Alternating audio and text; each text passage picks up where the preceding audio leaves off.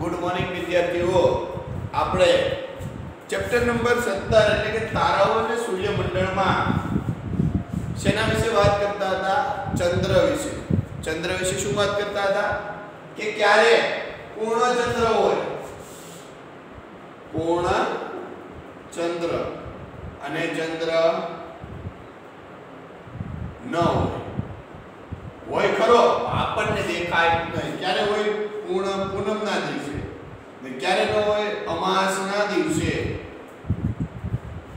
ચંદ્ર હોય નહીં બરાબર, પછી આપણે શું કરી હતી પ્રવૃત્તિ કરી હતી? કેવી પ્રવૃત્તિ કરી હતી? કે આપણે વર્તુળ રાઉન્ડ દોર્યું હતું. વચ્ચે સેન્ટર એવા કેટલા ભાગ કર્યા હતા આપણે? આઠ ભાગ કર્યા હતા. કેટલા ભાગ કર્યા હતા? આઠ. એક, બે ત્રણ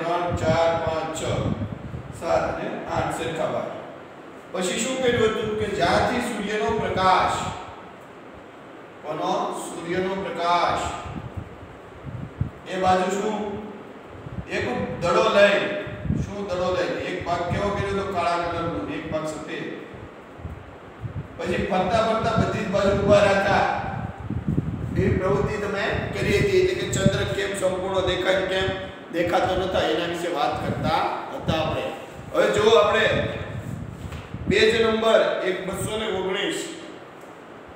ચંદ્રની સપાટી આપણે ત્યાંથી બાકી હતું.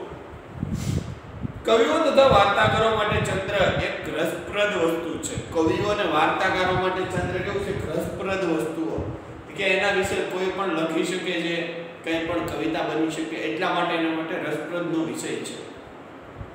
પણ જ્યારે અવકાશ યાત્રીઓ ચંદ્ર પર ઉતર્યા ત્યારે ત્યારે તેમણે જાણ્યું કે ચંદ્રની ધરતી તો ધૂળથી ભરેલી અને ઉજ્જળ છે. ઉજ્જળ એટલે કે વેરાન. જો આ ચંદ્રની સપાટી ઉપર અવકાશ યાત્રી જો એટલે કે હાવ ભાઈ, ચંદ્ર ઉપર આપણને સુંદર દેખાય છે દૂરથી. ગુજરાતીમાં કહે છે કે દૂર- દૂર- દૂરથી ડુંગર હળિયામાં એટલે કે દૂરથી જ આપણને એવું લાગે મસ્ત ડુંગરાઓ છે. પાસે જાય ત્યારે ખબર પડે આમાં તો કાંકરે, પથ્થર ને એવું બધું ઘણું બરાબર, એવી જ રીતે ચંદ્ર આપણને ગયા એ મસ્ત બતાય. પણ જ્યારે ચંદ્ર ઉપર લોકો ગયા, એટલે કે અવકાશ યાત્રીઓ ત્યારે એમણે જોયું કે ચંદ્ર ઉપર કાંઈ એવું છે એની ઉજ્જળ ભૂમિ છે, સાવ વેરાણ છે. ત્યાં જુદા જુદા કદના ખાડાઓ, જુદા જુદા કદના એટલે કે અલગ અલગ ખાડો જેમ મોટો ખાડો, જેમ નાનો, કેમ થોડો નાનો, જેમ બહુ મોટો ખાડો. ત્યાં ઘણા બધા ઊંડા, ઊભા અને ઊંચા પર્વતો પણ છે. એવું નથી કે ત્યાં પર્વતો ને એવું કંઈ છે ને ખાડા છે, ખાલી ખાડા છે. ને હાવ સપાટ જમીન છે. પૃથ્વી હું ગોળ છે તેમાં સપાટ જમીન છે. આપણે પૃથ્વી પર હિમાલય નથી માઉન્ટ એવરેસ્ટ છે કે નહીં? છે ને પર્વતો? ઘણા બધા પર્વતો છે. આપણે કેમ ગિરનારનો પર્વત નથી? એવી રીતે ત્યાં પણ શું? પર્વતો છે. તેમાંના કેટલાક તો પૃથ્વી પરના ઊંચામાં ઊંચા પર્વતો જેટલા છે. પૃથ્વી પરના ઊંચામાં ઊંચો પર્વત કયું છે? હિમાલય એટલે માઉન્ટ એવરેસ્ટ એની ઊંચાઈ છે આઠ હજાર આઠસો અડતાલીસ પોઈન્ટ છત્રીસ મીટર જેટલી ઊંચાઈ છે. એવડા ઊંડા પણ શિખરો ક્યાં છે? ચંદ્ર ઉપર છે. ચંદ્ર પર કોઈ વાતાવરણ નથી. ત્યાં પાણી નથી તો તું શું ત્યાં જીવન શક્ય છે? આપણે અહીં વાતાવરણ છે પૃથ્વી પર હા.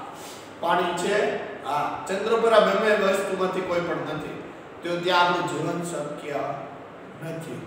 કેવી રીતે? હવે વાતાવરણ ન હોય તો આપણે શ્વાસ લઈ શકીએ? ન લઈ શકીએ.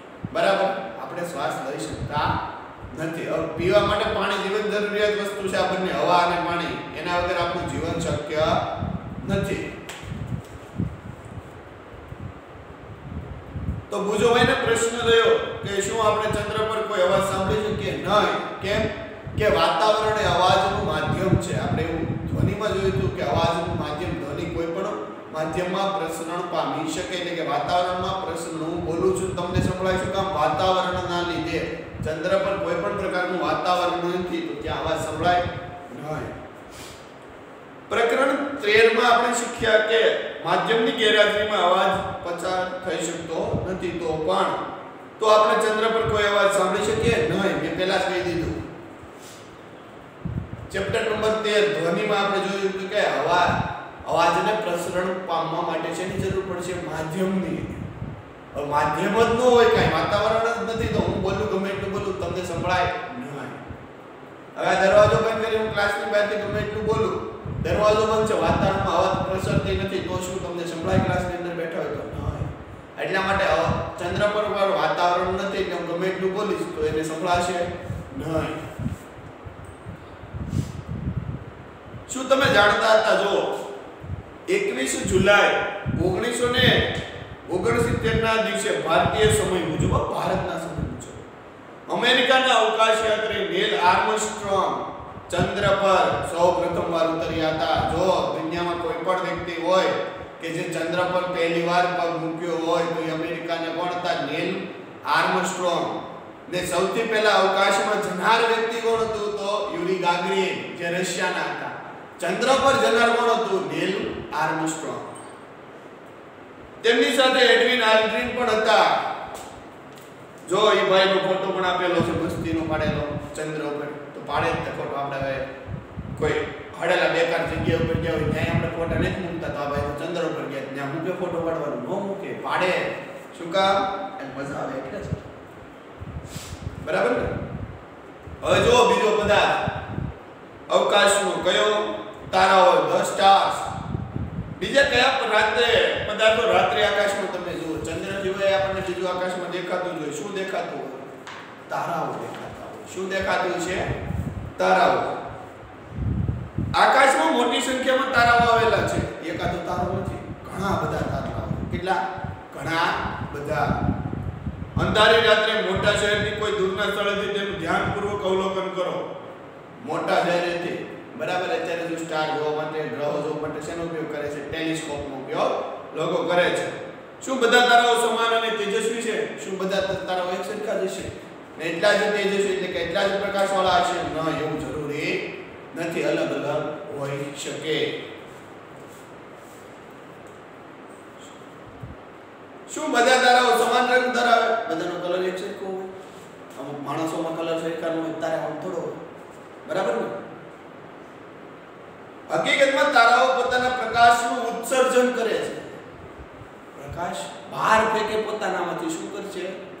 સ્વયં પ્રકાશિત છે. સૂર્ય કેમ સ્વયં પ્રકાશિત છે? એવી રીતે તારાઓ પણ કેવા છે? સ્વયં પ્રકાશિત છે. કેમ સૂર્યના કિરણો પોતામાંથી પ્રકાશનું શું કરે? ઉત્સર્જન એટલે કે ફેંકે છે બીજા તરફ. એવી રીતે તારાઓ પણ પ્રકાશનું શું કરે છે? ઉત્સર્જન એટલે કે બીજી બહાર ફેંકે છે. જ્યારે ચંદ્ર સ્વયં પ્રકાશિત નથી, એ સૂર્યનો પ્રકાશ એના પર પડવાથી આપણને પ્રકાશિત દેખાય છે. બાકી ચંદ્ર સ્વયં પ્રકાશિત નથી. આ યાદ રાખજો.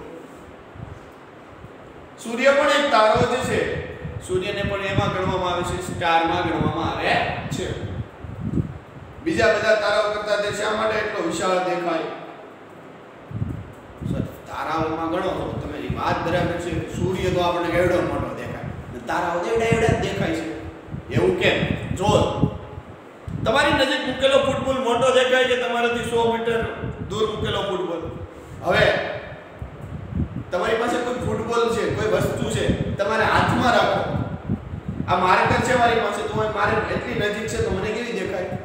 મોટી મોટી દેખાય. હવે હું આ માર્કર દૂર મૂકી નાખું. દૂર મૂકી રાખું. તો આ માર્કર છે, એ મને એના કરતા કેવી દેખાશે નાની. એટલે કે પૃથ્વીની સૂર્યની નજીક શું આવેલી છે? પૃથ્વી. એટલે પૃથ્વી સૂર્યની નજીક આવેલી છે એટલા માટે આપણને સૂર્ય કેવો દેખાય છે? મોટો દેખાય છે. તારાઓ સૂર્ય કરતા લાખો ગણા દૂર આવેલા છે. લાખો ગણા. કેટલા? લાખો કિલોમીટરના અંતરે. હવે આપણને આપણું અહીંથી ગામડું દેખાય. એટલું પાંચસો કિલોમીટર છે તો એ નથી દેખાતું. આ તો લાખો કિલોમીટર દૂર છે તારાઓ સૂર્ય કરતા. તો આપણને દેખાય દેખાય છે. આ કેવા? એટલે જ તારાઓ આપણને બિંદુત્વ દેખાય બિંદુવત દેખાય. ખાલી બિંદુ એટલે કે બિંદુ જેટલા એક ટપકા સમાન દેખાય છે. કેટલા? એક ટપકા સમાન જ આપણને તારાઓ દેખાય છે. બરાબર? આજ માટે અહીંયા સુધી જ રાખીએ. આગળનું હવે પછીના લેક્ચરમાં આપણે સૂર્ય વિશે વાત કરશું.